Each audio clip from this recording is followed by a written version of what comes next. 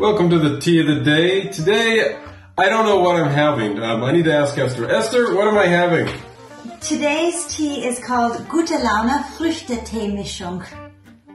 Which is what? What's in that? Um, I'm sure it's a bunch of delicious fruits ranging from orange to uh, rose hips, ribose. Is that called ribose? Right. Thank you. Yes. Um, something having to do with the pear, a little bit of fennel and vanilla extract. Ooh. Yeah, it's not too bad. It's uh, I actually could have let this steep just a touch longer, I think. But uh, red rooibos is supposed to be good for type two diabetes, cancer, and some other things as well. I'm forgetting off the top of my head because I'm enjoying this too much. Have a nice day.